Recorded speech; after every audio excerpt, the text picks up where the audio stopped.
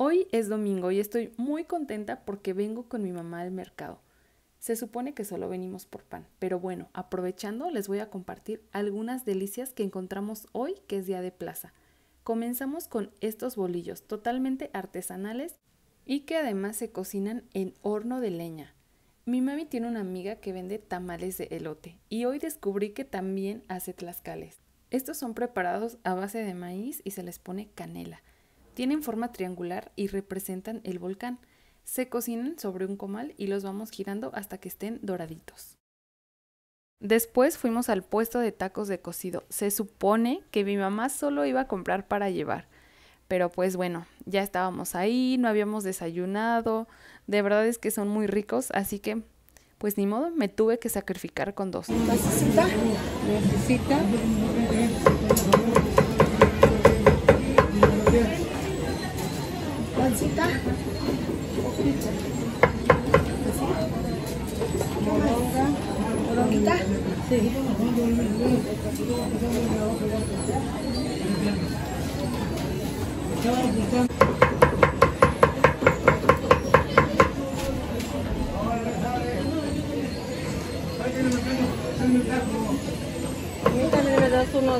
Y por supuesto que un taco no es taco sin una buena salsa o qué tal estos chilitos.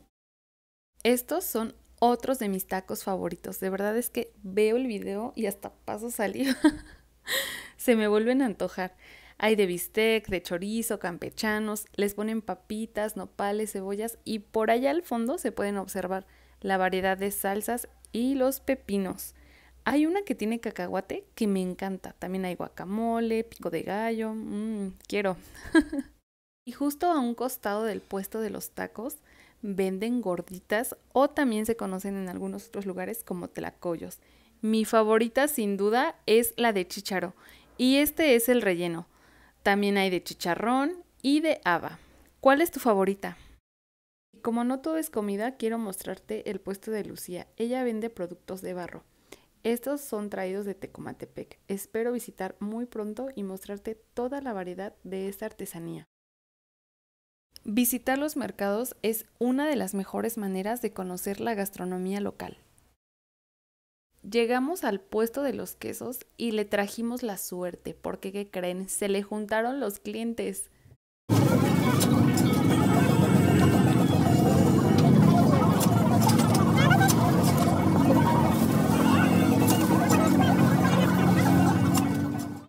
Mientras ella despachaba aproveché para inspeccionar lo que había en esta cubeta. Miren qué bonita manera de empacar el requesón. Por cierto, en las historias de Instagram les pregunté que si sabían lo que era y algunos me dijeron que tamales. Pero no, miren, es requesón. Lo que pasa que lo empacan en la misma hojita de maíz con la que se envuelven los tamales. De hecho, esta hoja se llama totomostle. Esa botella que ven ahí atrás es de pulque. La señora me estaba diciendo que me la llevara, pero en realidad yo me acerqué por los capulines. Los capulines son estas frutas o bayas silvestres, bueno, yo así les digo. Se hace un dulce y con estos hacen tamales. Ya les he dicho mil veces que mi abuelita hace los mejores. Este pan es pan rojo, así tal cual se llama. Y estas que son muy parecidas, tal vez más pequeñas, son pelucas. Aquí en el canal tengo dos videos donde les cuento cómo se prepara este pan tan delicioso. Coatepec es un pueblo panadero y parte de la riqueza de este oficio tan noble de la panadería la podemos ver en todas las variedades, formas y sabores del pan. Oigan, estos son duraznos cristalizados. Aquí en el canal tengo una receta que mi abuelita me hizo favor de compartir con todos ustedes. No me podía ir sin enseñarles estas tradicionales reposterías de la señora Blanquita. Hay variedad de galletas, de formas, de colores y estas son una de mis favoritas, son empanadas de arroz. También hay de piña, de queso con zarzamora. Esta familia vende una nieve muy famosa que se llama amantecado, así que si vienes no dudes en probarla.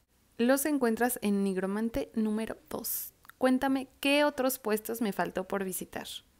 Y dale like si quieres que hagamos la parte 2. Nos vemos, bye.